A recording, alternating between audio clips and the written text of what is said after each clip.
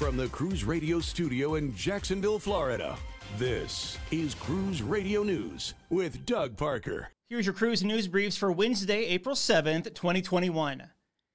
In an unexpected development, the Centers for Disease Control released a statement late Tuesday afternoon indicating that a resumption of cruising might be closer than any of us could have predicted. And it seems that this was done in response to a move made by Carnival Cruise Line. The information recently released by the US Centers for Disease Control and Prevention, the CDC, uh, does not provide the clarity that we need to cruise in June or to proceed. Carnival brand ambassador John Heald there only hours after the cruise line announced that they would be canceling their June sailings and indicated that they might be considering sailing out of foreign ports, a move they've so far resisted.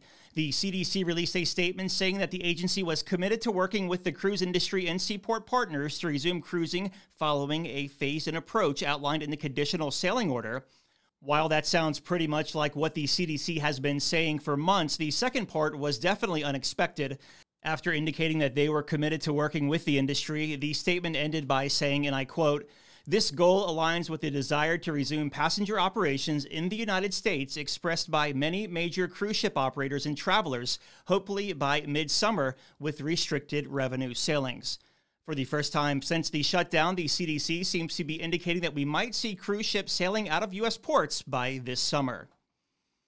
And following Royal Caribbean's lead, Norwegian Cruise Line announced on Tuesday morning that they'll begin sailing outside of the U.S. starting in July with three cruise ships.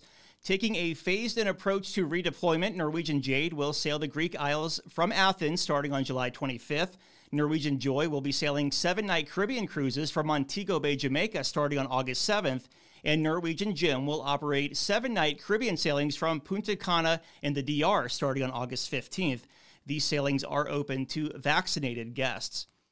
And cruise line stocks closed up on Tuesday and rose even more in after hours trading. Carnival Corporation closed at 28.60, up 2%.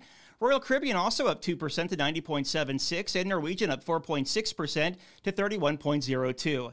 Breaking news and up to the minute industry coverage at cruiseradio.net. I'm Doug Parker with Cruise Radio News. The proceeding was a production of Cruise Radio. For more accurate and dependable updates, subscribe to our YouTube channel or visit cruiseradio.net.